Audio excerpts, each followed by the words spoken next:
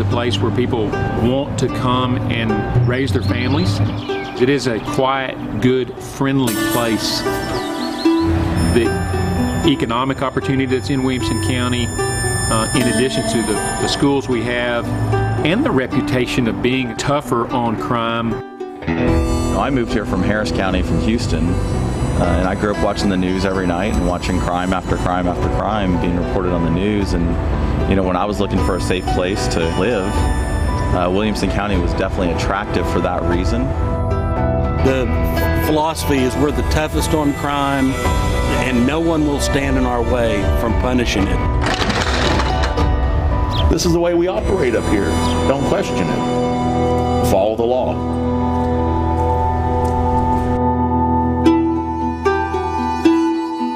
Generations, that has been the well earned reputation of Williamson County, Texas.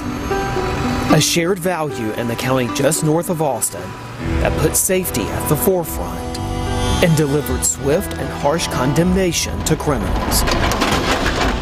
So we'd make these arrests, and uh, you know, and the guy or girl is running their mouth, and they're smart aleck, and, and you start driving north. They go, "Where are we going?" We go, "Well, we're going to jail." They go, "Well, jail's the other way. It's on Seventh Street in downtown Austin." We go, "No, we're going to Georgetown. You're in Williamson County," and they literally start crying in the back seat of your car. It is a community stance and tradition that many longtimers trace back to this man, Sheriff Jim Boutwell, who served as Williamson County's top law enforcement officer for 13 years starting in the mid 1970s. In 1966, when Charles Whitman went on a shooting rampage at the University of Texas Tower that left 16 dead, Boutwell, a private pilot, buzzed the tower by air he distracted Whitman long enough to allow officers on the ground to subdue and arrest the shooter. A dozen years after that day made him famous, Boutwell became the cowboy hat wearing, tough talking Williamson County Sheriff. I remember hearing stories about he would walk down the street, you know, he'd have his 45 on his hip and his Stetson, and you'd say, Well, where's your badge? And he looks like a Texas Ranger. And they say, Well, where's your badge? And his statement was, You know, well, I'm the sheriff of this county. I expect folks ought to know who I am.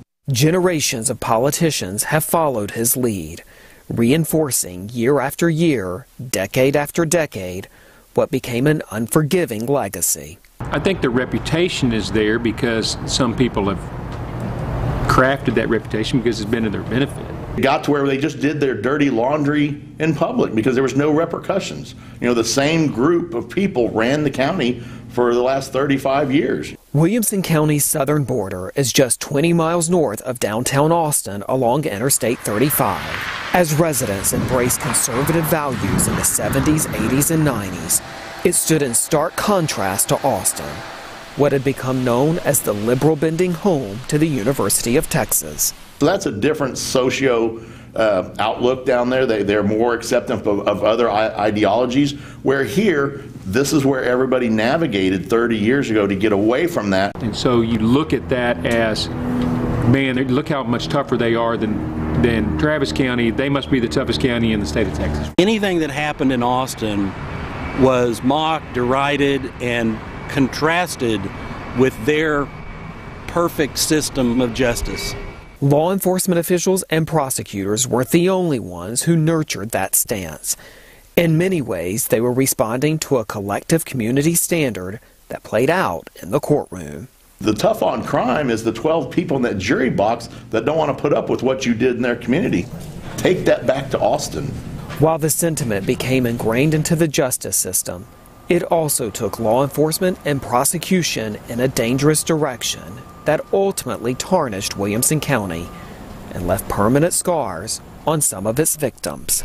They were hostile to defense lawyers. There was a philosophy that, that we're basically criminals. Uh, we represent criminal interests, and we're to be uh, considered second class. At some point, the reputation of law and order became the law as opposed to the law and the facts becoming the law. I personally think that the system has been so one sided, the same players, that they got lazy and it just became second nature. And so I think it was just a trust that everyone had, um, and that trust never really got tested. Until it did.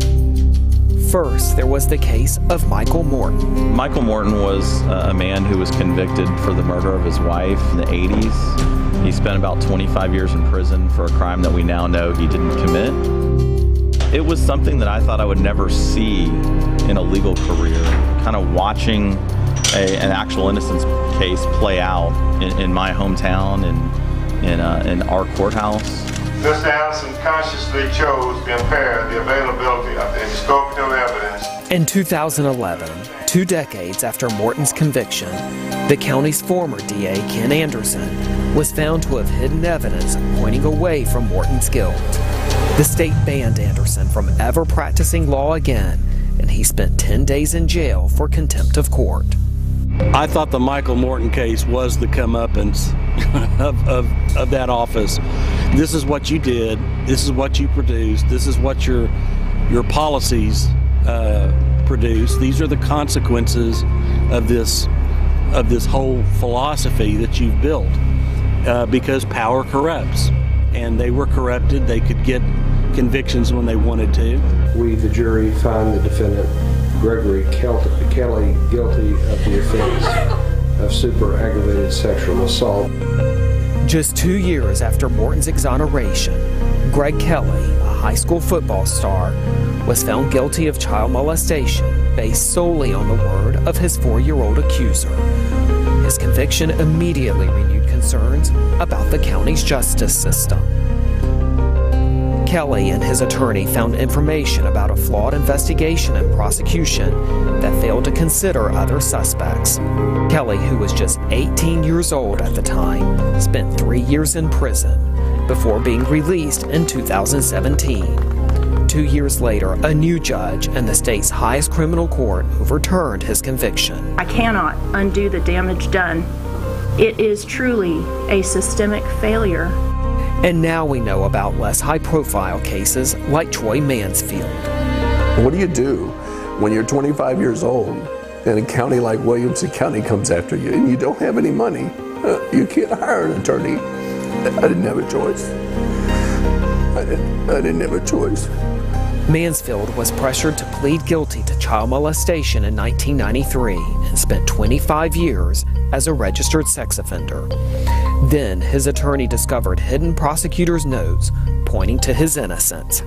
Boy, how exciting. And yet, so angry that they would have that and destroy a man's life over what? It allowed prosecutors and, and law enforcement officers to do less than our best work uh, to secure convictions. And uh, I think because people wanted to believe so badly in the guy with the white hat and the guy with the black hat, um, they just really um, they rooted for the good guy. They rooted for law enforcement.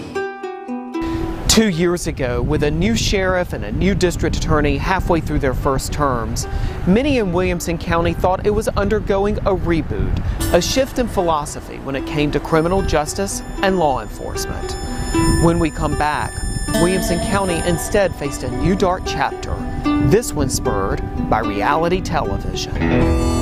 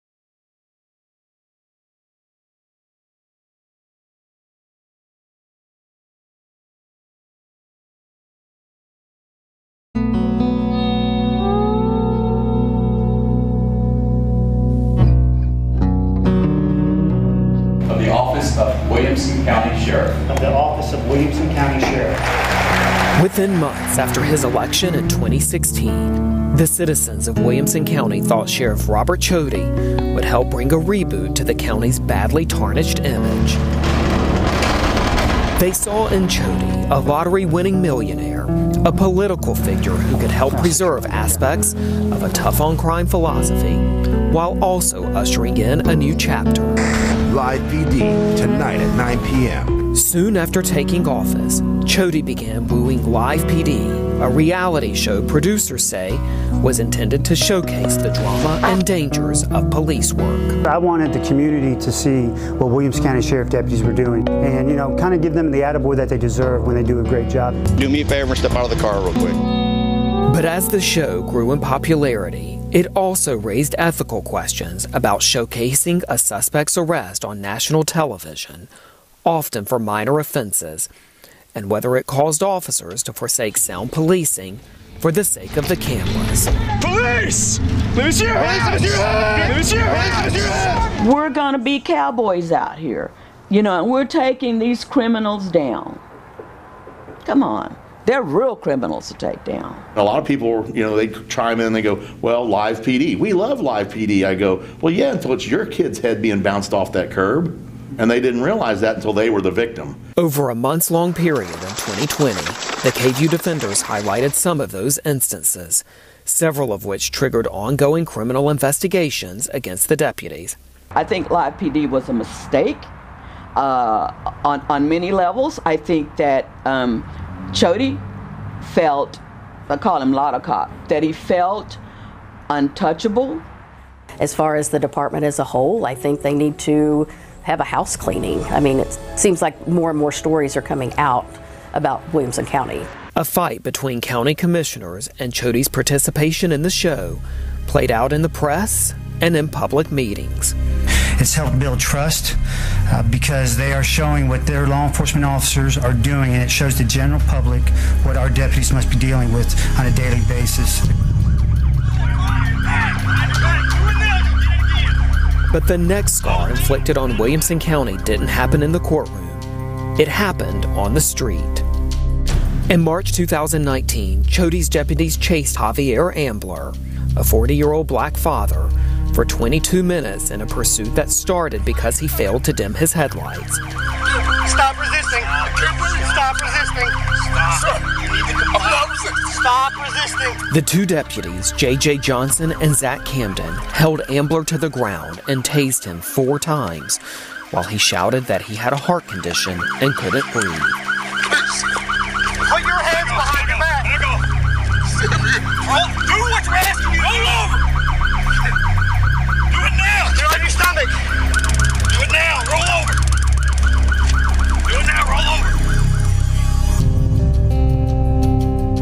I said, What happened to my son? He said, He's dead.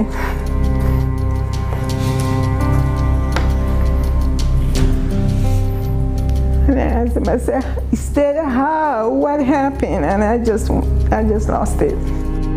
Live PD cameras were there and filmed the entire encounter. Still, for 15 months, there was no explanation given to Javier Ambler's family, and the live PD video was destroyed. Information. I need to know what happened to my baby. I need to know. In the summer of 2020, the KVUE defenders obtained documents and videos of what happened and were finally able to give Ambler's family some answers.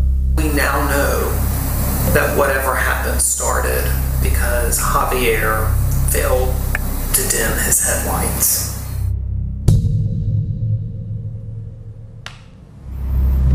This is the first time I'm hearing about that. Two days after we aired our story, and amid an ongoing national debate about policing in America in the wake of the death of George Floyd, producers canceled Live PD. Javier Ambler was my son. That could have easily been my son. You know, and um, I felt the pain of a mother. Just like in seeing George Floyd call out for his mama. I felt the pain of a mother whose son is being murdered. Knowing that who knows one day when they may walk up here and knock on my door. Ambler's death touched off criminal investigations, not just into the actions of deputies J.J. Johnson and Zach Camden, but of the sheriff himself, whose popularity had grown because of the show. On September 28, 2020, that investigation culminated in the indictment of Sheriff Chody and the county's general counsel, Jason Nassour, on evidence tampering charges. In a news conference that afternoon, Chody said he considered himself the latest victim in a legacy of flawed prosecutions. Unfortunately, Shawn Dick continues the sad tradition that exists in Williamson County of indicting people for crimes they didn't commit. But others considered the case another black eye on the county. That's still our mission uh, to keep this county safe, uh, but we need to do it in a way that that our that our citizens understand that we're not going to compromise our integrity. We're not going to compromise the Constitution or the law to to achieve that. So help me God. Gleason is vowing to turn things around. Our standards are, have changed. We're still talking about this lore, but it's not like that today. I mean, it is because of what we saw, but then you saw an incumbent sheriff get run out of town because of it. Sheriff Gleason is the first Democrat elected to a county-wide office in nearly 30 years. Williamson County is changing. In 2016, it went red for Donald Trump, but in 2020, blue for Joe Biden. When we come back, Austinites are moving north to escape affordability issues, bringing with them a desire for change.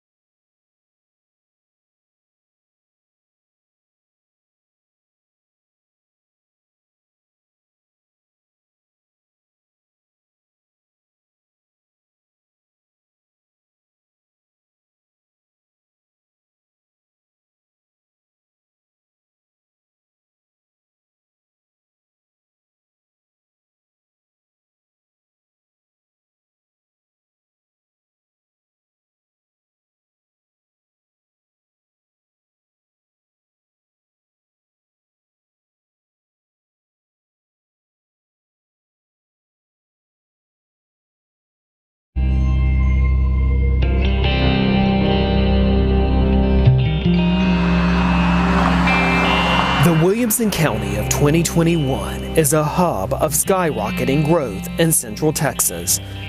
Entire new neighborhoods springing up on rural ranchland and new industries pumping money and people into once quiet communities.